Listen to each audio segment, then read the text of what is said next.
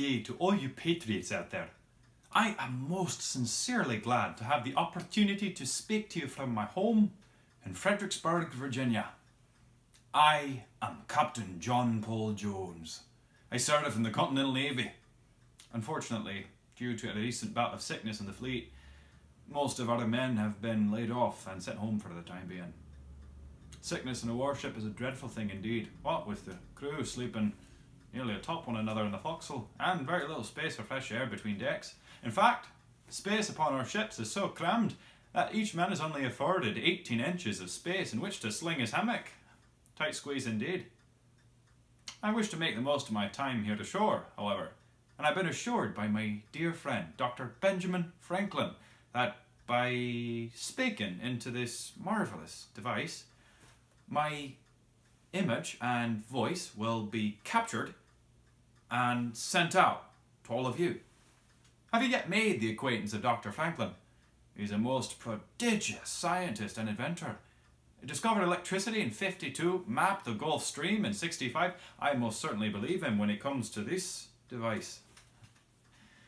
I must confess, I have long dreamed of a life of quiet contemplation and poetic ease here in the far land of Virginia. But with the revolutionary cause lingering on as it is, there's so much to do, I fairly ache to return to sea. My latest command, the 12-gun sloop of war Providence, is a fast and weatherly ship, and my crew, how sorely I miss them now, a very fine one. Did you get the missive from able seaman Barlow?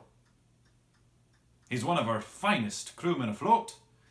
While many of us are at home, Barlow's been assigned the task of keeping Providence in pristine condition so she can outsail any ship on the water, including His Majesty's 26-gun Solebay.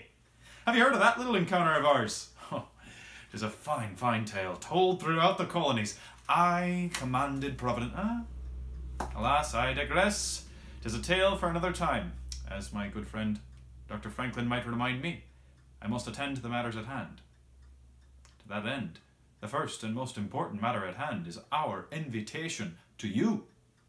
Join the crew of Providence. Yes, you heard me right. Join our crew. Times like these, we need all hands. How do you join? Simple, by visiting this page each week. When you're here, you're part of the crew. Each Tuesday, we'll post new content for you to explore. Anything from tales on the high sea to history of the ship sea shanties to colouring pages, not tie-in, to knowledge, tests of your knowledge. It'll be as exciting as my time at sea. Huh. Well, perhaps not, but we do have a good thing, few things here in store for you. Each time you visit the page, treat it as you would a voyage at sea. Be prepared for anything. You never know which direction the wind will blow, what tidings the current will bring. Well, you're ready to set sail? Click the likeness of me above or the likeness of able seaman Barlow in the portholes and send us a message letting us know you are. Matter of fact, click those portholes anytime you wish to send us a message, question, or suggestions of content you'd like to see on the website. We'll be prompt in our responses, I assure you. And you may even see your content featured. After all, what good is a captain if he pays no mind to his crew?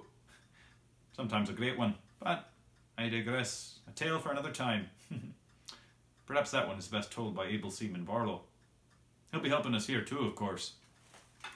I hold him in high regard. Anything you hear from able seaman Barlow, it's coming straight from me. And with that, shipmates, let us set sail! Explore away! Oh, what? Oh, pardon. Uh, a, a plug?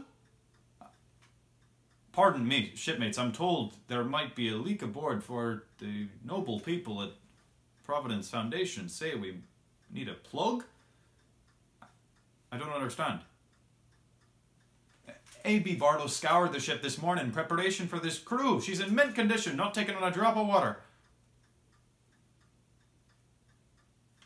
Shipmates, I'm told that a plug has nothing to do whatsoever with our seaworthiness. Rather, the following title screen. Can you make sense of it? I surely cannot. I was going to mention the colouring page, but perhaps this plug and title screen business is your first assignment aboard Providence.